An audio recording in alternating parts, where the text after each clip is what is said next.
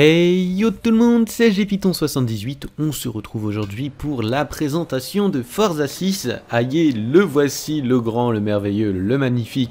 Bon ok j'arrête, mais bon, le superbe Forza 6, le voilà. Donc je vais vous présenter tout simplement trois tours de piste sur trois temps différents. Euh, le premier est donc la pluie, avec ces fameuses flaques d'eau qui font effet aquaplaning.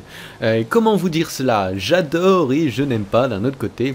Euh, j'adore le côté hyper réaliste de la chose, le fait que lorsqu'on roule dessus à pleine vitesse, euh, on soit totalement déstabilisé, et en même temps je n'aime pas, puisque justement, quand on roule dessus à pleine vitesse et qu'on ne l'a pas vu, on est totalement déstabilisé, mais ça offre euh, vraiment un côté très très très réaliste au jeu, euh, donc voilà, en tout cas pour ma part j'adore vraiment. Au passage, ne vous en faites pas si pendant ces extraits vous voyez que je galère un petit peu, que je patine, que je glisse beaucoup. C'est tout simplement parce que toutes les aides au pilotage, euh, je les désactive. J'aime beaucoup avoir ce côté hyper réaliste, euh, quitte à me bouffer tous les murs. Donc voilà euh, pour, la petite chose. Les flaques d'eau, ouais, vraiment c'est le truc qui m'a fait... c'est un truc tout con, hein, mais ça m'a fait craquer ces petites flaques d'eau, voilà. Le fait de ne plus pouvoir rien gérer du tout, c'est vraiment assez assez cool, assez incroyable. Ensuite, on passe sur euh, circuit de nuit. Je suis équipé de ma Ford Focus RS. Et là encore, ça change beaucoup de choses, euh, notamment la visualisation des panneaux sur le bas-côté de la route qui vous indique à peu près la distance à laquelle se situe le virage, et ça vous aide énormément euh, pour freiner. vous voyez, je ne joue pas avec de lignes au sol indiquant quand il faut freiner ou pas, et donc il faut se faire des repères et il y a toujours des panneaux sur les côtés avant les virages qui nous indiquent la distance. Sauf que de nuit, ils sont un peu plus durs à localiser, un petit peu plus durs à visualiser. Et donc on se bouffe des voitures comme vous pouvez le voir à, cet instant.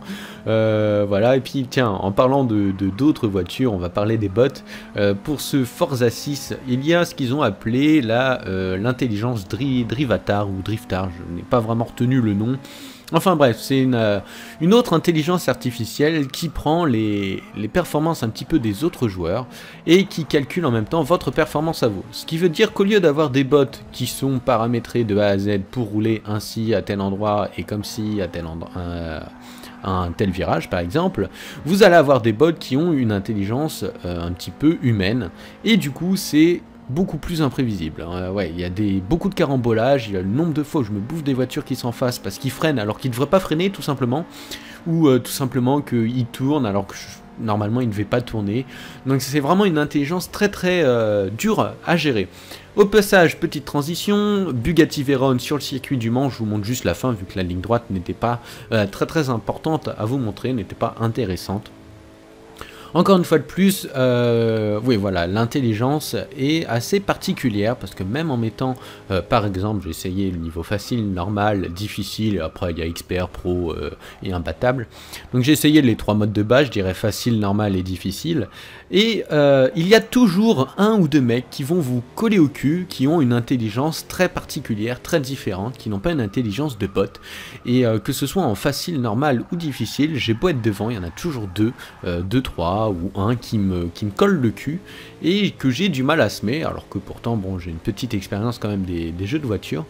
Mais, euh, mais voilà, donc ça offre vraiment un côté encore plus réaliste au jeu, euh, assez sympathique et beaucoup plus de challenge du coup pour ce euh, Forza 6. Autre chose, on va parler légèrement du multijoueur que j'ai regardé en surface, tout simplement un multijoueur vous allez avoir des courses basiques et il y a le retour du mode chat. Faut savoir que pour ceux qui ne connaissent pas Forza, le chat est un des modes les plus appréciés de la communauté. Moi-même également, c'est vraiment un mode de jeu que j'adore. Euh, bon, je vous décris pas le but du jeu, vous connaissez tous le chat je suppose. Et euh, non, ça offre vraiment des, des, particularités assez singulières. il faut faire des réglages particuliers sur vos voitures pour ne pas vous faire toucher, pour pouvoir gérer un virage ou tout simplement faire des départs arrêtés excellent. Euh, donc le mode chat, bah, moi pour ma part, je suis super content de le retrouver euh, sur ce multijoueur. Et bien voilà, on arrive à la fin de cette présentation de ce Forza. La campagne, rien à dire non plus, hein. il y, a, pas mal de choses, des challenges, des courses classiques.